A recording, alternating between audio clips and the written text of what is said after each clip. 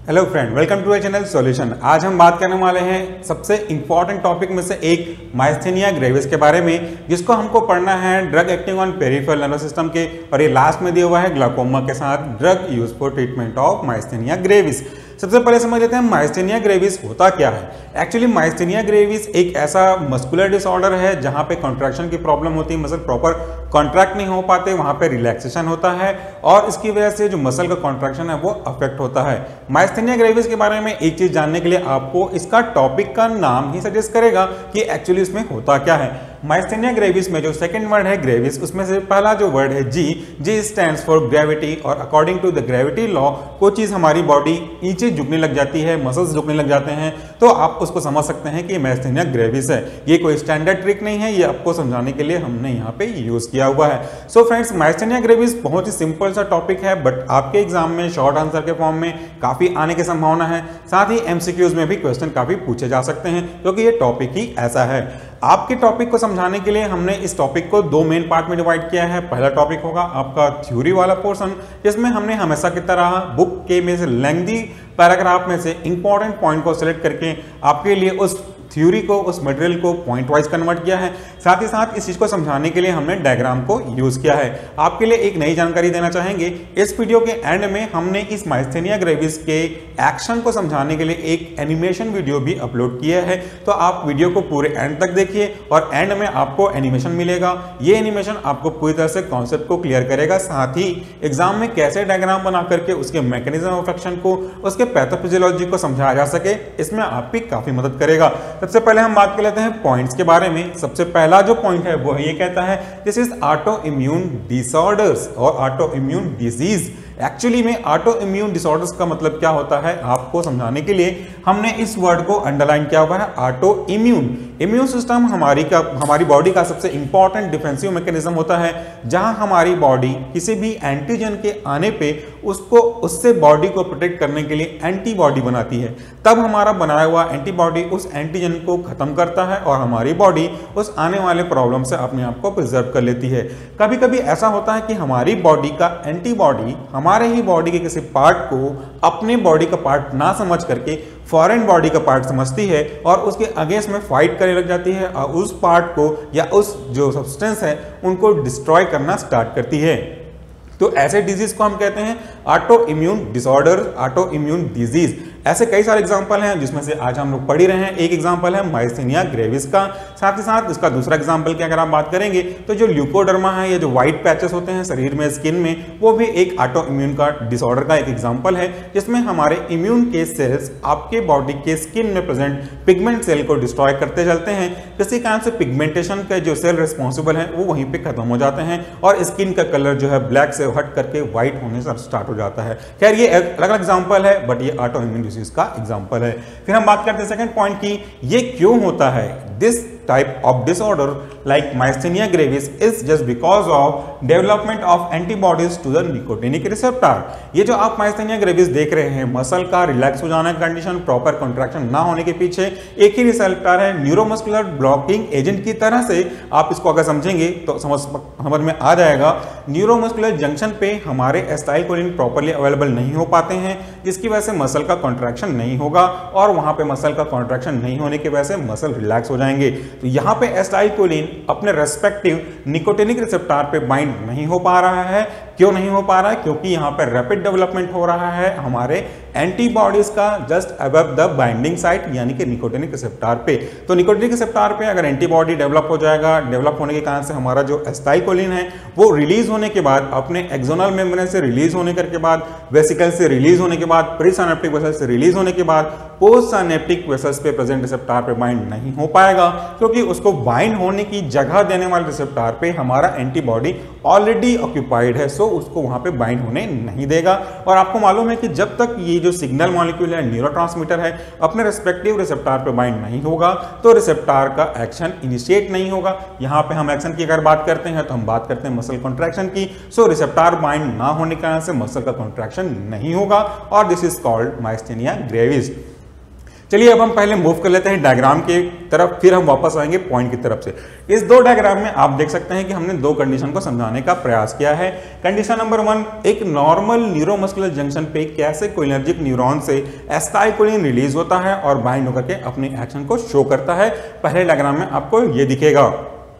जब कभी भी आप एग्ज़ाम में इस क्वेश्चन को अटेंड करने जाएँ, हमारा सजेशन रहेगा कि सबसे पहले आप नॉर्मल सेल्स के बारे में बताएँ कि नॉर्मल में क्या हो रहा होता।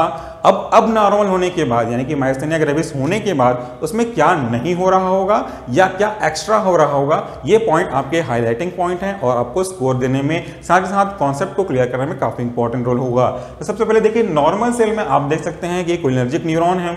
यहाँ से बेसिकली से एस्टाइकोली रिलीज़ हो रहा है। एस्टाइकोली रिलीज़ होने के बाद अपने प्री साइनेप्टिक रिसेप्टर पे एज वेल एज अपने पोस्ट साइनेप्टिक रिसेप्टर पे बाइंड होगा। जब ये एस्टाइकोलिन अपने रेस्पेक्टिव निकोटोनिक रिसेप्टर पे बाइंड होगा तो ये कॉम्प्लेक्स का फॉर्मेशन पूरा करेगा और उसकी वजह से निकोटोनिक रिसेप्टर पे बाइंड होने की वजह से हमें एक्शन मिलेगा, ये एक्शन होगा नॉर्मल मसल कॉन्ट्रैक्शन और जो हमें यही चाहिए था, यही होते रहता है हमारी और आपकी नॉर्मल बॉडी में।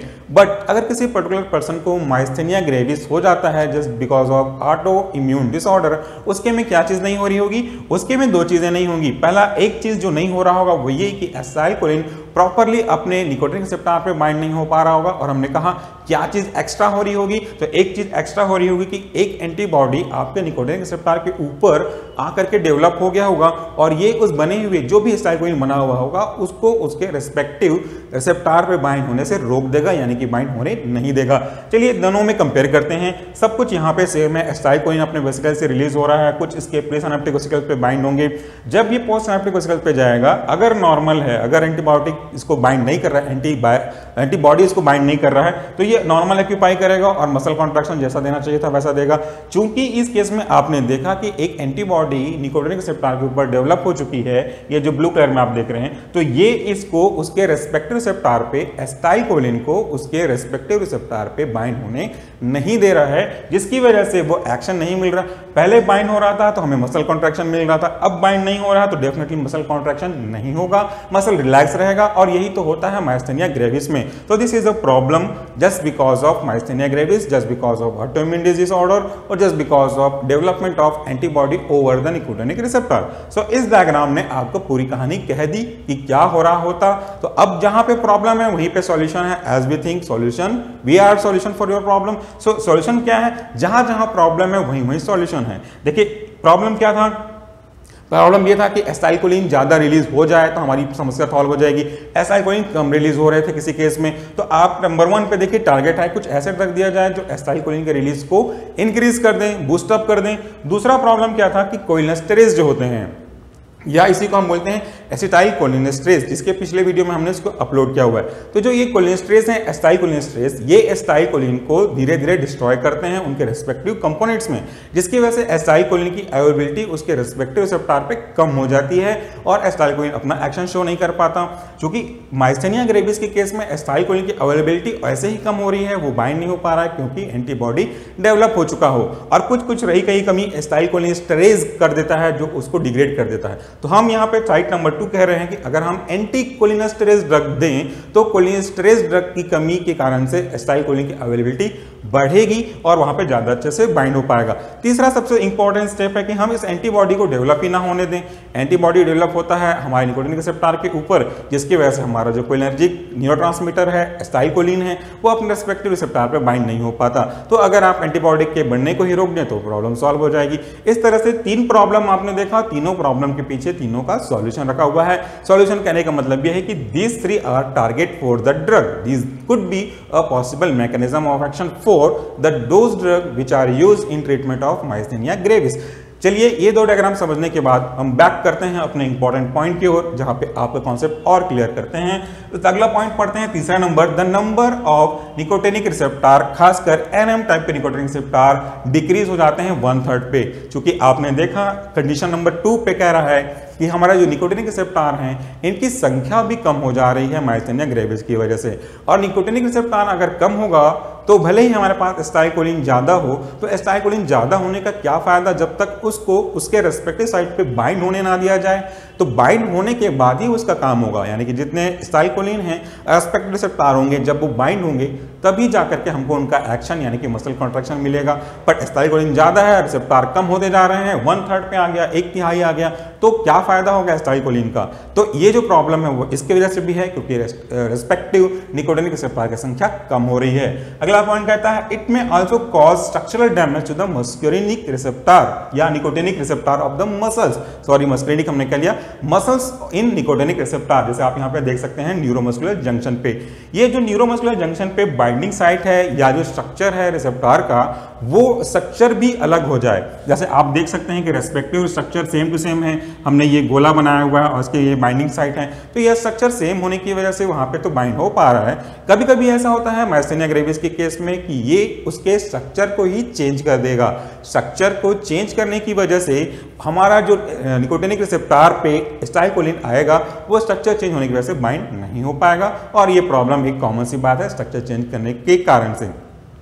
स्ट्रक्चर चेंज होने के पीछे क्या रीजन है? इसको हमने अपने पहले वीडियो में अभी आपको बताया है कॉम्पिटेटिव इनिबिटर्स के केस में कैसे स्ट्रक्चर चेंज हो जाते हैं। फिर हम बात करते हैं अगले पॉइंट पे दिस रिज़ल्ट इन वीकनेस अगर किसी को पर्टिकुलरली पर्सन को माइस्थेनिया ग्रेविस होता है, यानी कि मसल्स में कंट्रैक्शन नहीं होता ऑटोमिन डिज़ीज़ की वजह से तो क्या सिम्टम्स दिखेंगे आपको? तो आपको सिम्टम दिखेंगे वीकनेस फैटिक फुलनेस बहुत थकावट आएगी एक्सट्रीम फैटिक फुलनेस रहेगा और जो कि एक रिलैक्स करने के बाद वापस से रिकवर हो जाएगा। थकावट फैटिक मसल का कॉन्ट्रैक्शन ना हो पाना, ये एक कॉमन सिम्टम्स हैं, जो अगर रेस्ट करने के बाद आप करते हैं रेस्ट तो वापस से रिकवर होने की संभावना होगी बट ये इनिशियल कंडीशन में ही एप्लीकेबल है। उसके बाद दिस अफेक्ट जो अगर किसी को माइस्थेनिया ग्रेविस की प्रॉब्लम होती है तो वो किन किन ऑर्गन को बेसिकली अफेक्ट करते हैं। अगर हम बात करते हैं अक्करेंस की प्रियोरिटी के बेसिस पे तो सबसे पहले जो प्रॉब्लम होगी अफेक्ट करेंगे ऑर्गन वो है आई लीड्स आई लीड्स झुकने लगेंगे this is the eyelids, ये झुकने लगेंगे। हम आपको इस वीडियो के बाद में एनिमेशन भी दिखाने वाले हैं। तो एनिमेशन के बाद हम रेफरेंस को कोट करते हुए माइस्थेनिया ग्रेविस का एक डायग्राम भी अपलोड कर देंगे। तो दिस इज़ आई लीड, पहले अफेक्ट होता है एक्सटर्नल ऑक्यूलर उसके बाद अफेक्ट होता है। ये सब पहले लाइन वाले ही ड्रग हैं। उसके बाद फेशियल मसल अफेक्ट होता है फेशियल मसल अफेक्ट होने के बाद फिर सेकेंडरी में जाकर के दूसरे के स्टेज में हमारे लिम और रेस्पिरेटरी मसल्स भी वीक होते जाते हैं रिलैक्स होते जाते हैं। इनमें इसका असर दिखना स्टार्ट हो जाता है। अगर हम बात करते हैं ट्रीटमेंट की तो ट्रीटमेंट के अप्रोच हैं। जैसा हमने आपको बताया जहाँ जहाँ प्रॉब्लम है वहीं वहीं सॉल्यूशन है। So we are solution for your problem as कुछ ड्रग ऐसे हैं जो उनके स्पेसिफिक साइट पे काम करके अपना असर शो करते हैं। ये ड्रग हैं, ये जो ड्रग का मैकेनिज्म है by increasing acetylcholine release number one अगर हम एस्टाइकोलिन के रिलीज़ को इंक्रीज कर सकते हैं तो एस्टाइकोलिन की अवेलेबिलिटी बढ़ती जाएगी और रिसेप्टार पे बाइंड होने की जो प्रोबेबिलिटी है या पॉसिबिलिटीज है, वो बढ़ते जाएगा। दूसरा है इम्यूनोसप्रेसेंट अगर हम ऐसे ड्रग यूज़ करते हैं जो इम्यूनोसप्रेसिव का काम करते हैं इम्यूनोसप्रेसेंट का मतलब होता है ऐसे ड्रग जो कि इम्यून सिस्टम को सप्रेस कर दें इम्यून सिस्टम को थोड़ी देर के लिए इनिबिट कर दें, ताकि उस पीरियड तक हम उस ड्रग का एक्शन को अचीव कर सकें। So these are known as a immunosuppressive drug immunosuppression की वजह से क्या होगा? इम्यूनोसप्रेसिव आगे जाकर के एंटीबॉडी के प्रोडक्शन को इनिबिट करेंगे। उससे क्या होगा? आप देख सकते हैं कि एंटीबॉडी हमारे रेस्पेक्टिव निकोटिनिक रिसेप्टर पे बाइंड हो रहा है। तो अगर हम इम्यूनोसप्रेसेंट ड्रग यूज़ करेंगे तो इम्यून सिस्टम का जो मेन कंपोनेंट है दैट इज़ एंटीबॉडी वो कम हो जाएगा। वो कम होगा तो उसकी अवेलेबिलिटी निकोटिक रिसेप्टर पे कम होगी। और जब उसकी अवेलेबिलिटी निकोटिक रिसेप्टर पे कम होगी तो हमारा जो प्रॉब्लम था, जिसकी वजह से निकोटिक रिसेप्टर पे एस्टाइकोलिन बाइंड नहीं हो रहा था, वो तो सॉल्व हो ही जाएगा। यही तो हमको चाहिए था। उसके बाद तीसरा है removal of antibody by plasma exchange अगर हमारे बॉडी में प्लाज्मा है प्लाज्मा में एंटीबॉडी ज़्यादा है तो अगर हम अपने प्लाज्मा को एक्सचेंज कर देते हैं एक्सट्रूड कर देते हैं, जिसको हमने आगे नाम दिया हुआ है, यहाँ पे आप देखेंगे प्लाज्मा फ्लेसिस दिस इज़ नाम for this is name for the plasma exchange तो उसमें एंटीबॉडी की भी संख्या कम हो जाएगी। उसके बाद हम बात करते हैं नेक्स्ट पॉइंट की तो रिमूवल ऑफ़ एंटीबॉडी ये हमने समझाया। देन नेक्स्ट है नियोस्टिग्मिन जो हमारे ड्रग हैं, उनमें से एक ड्रग है नियोस्टिग्मिन या इसके कंजेनर्स जो भी ड्रग होंगे। So neostigmine is the first line drug for the treatment of myasthenia gravis ये कैसे काम करता है? They allow the release of acetylcholine and they increase the binding of acetylcholine with their respective receptor जो neostigmine है, जिसका हमने first line drug बताया है, वो एस्टाइकोलिन के रिलीज़ को इंक्रीज करता है। एस्टाइकोलिन इंक्रीज होगा रिलीज़ उनका इंक्रीज होगा तो वो अपने रेस्पेक्टिव रिसेप्टर पे बाइंड होने की पॉसिबिलिटी उनकी ज़्यादा होगी और इस तरह से उनकी अवेबिलिटी को ज़्यादा इंक्रीज कर सकते हैं। दूसरा कहता है कॉर्टिकोस्ट्रॉइड जो हम यूज़ करते हैं, ये इम्यूनोसप्रेसेंट का काम करते हैं। इम्यूनोसप्रेसेंट हमने बताया, जो कि एंटीबॉडी एंटीबॉडी के प्रोडक्शन को कम कर देंगे और उसके हिंड्रेंस को निकोटिनिक रिसेप्टार के ऊपर जो हिंड्रेंस हो रही थी, उसको कम करके एस्टाइल को बाइंड होने का मौका देंगे। उसके बाद यही क्या करते हैं जो हमारे स्टेरॉइड्स हैं कॉस्टिकोस्टेरॉइड्स ये increase the synthesis of nicotinic receptor they may increase यहाँ पे में याद रखना ज़रूरी है। They may increase the number of nicotinic receptor वो उनके संख्या निकोटिनिक रिसेप्टार की संख्या को बढ़ा सकते हैं। तो अगर एक के ऊपर एंटीबॉडी बाइंड भी हो गया तो और अगर रिसेप्टार जनरेट करेंगे तो हमारे एस्टाइल कोइंग के लिए काफ़ी सारी जगह रहेगी बाइंड होने के लिए। और एस्टाइल कोइंग तो हम इनकी को और इंक्रीज कर ही रहे हैं। रेस्पेक्टिवली रिसेप्टार भी बढ़ जाएगा तो दोनों के बाइंड होने की possibilities as well as probabilities दोनों बढ़ जाएगी। उसके बाद हम बात करते हैं। अगला है रिमूवल ऑफ़ एंटीबॉडी अगर हम एंटीबॉडी को रिमूव कर दें तो भी जो ब्लॉकेज हो रहा था, वो भी हट जाएगा बाय प्लाज्मा फोरोसिस जैसा हमने बताया कि प्लाज्मा को चेंज कर दें एक्सचेंज कर दें। उसके बाद है over treatment of cholinesterase anti over treatment with anticholinesterase यहाँ पे एक चीज़ हमसे रह रही थी, हम अगर एंटी कोलिनस्ट्रेस ड्रग को भी यूज़ करेंगे तो उससे क्या होगा? कोलिनस्ट्रेस को वो ड्रग खत्म कर देगा। कोलिनस्ट्रेस कोलिन को स्टाइल कोलिन को ब्रेक डाउन कर रहा था। तो उसकी वजह से स्टाइल कोलिन की अवेलेबिलिटी भी कम हो रही थी। बट अगर हम एंटी कोलिनस्ट्रेस यूज़ करेंगे तो इससे हमारा स्टाइल कोलिन की अवेलेबिलिटी बढ़ेगी। बट अगर हम एक नॉर्मल डोज से ज़्यादा एंटीकोलिनर्जिक ड्रग यूज़ करते हैं एंटीकोलिनस्ट्रेस ड्रग यूज़ करते हैं तो प्रॉब्लम क्या होगा? उसकी वजह से मसल्स का वीकनेस हो जाएगा, जिसकी प्रॉब्लम पहले से थी। क्यों? क्योंकि ये परसिस्टेंट डिप डिपोलराइजेशन कॉज करेगा और उससे क्या होता है? हमने ये न्यूरोमस्कुलर ब्लॉकेज इंजन में बताया हुआ है।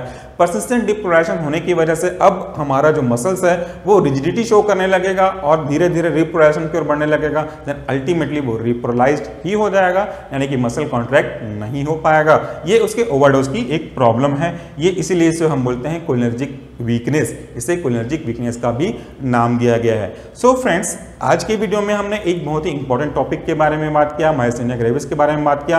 I am very much sure कि इसमें से कुछ एमसीक्यूज और शॉर्ट नोट्स तो आने ही हैं। तो आप ये टॉपिक को और अच्छे से प्रिपेयर करना चाहेंगे तो हमने आज का नोट्स के त्रिपाठी से लिया हुआ है और ये डायग्राम हमने सोल्यूशन फार्मेसी का बनाया हुआ है। इसके बाद आपको इसका एनिमेशन दिखने वाला है। तो अभी वीडियो खत्म नहीं हुई है, आप स्टेप पे रह रहिएगा। Thank you very much for watching this video please एक लुक देखिए हमारे एनिमेशन पे। Thank you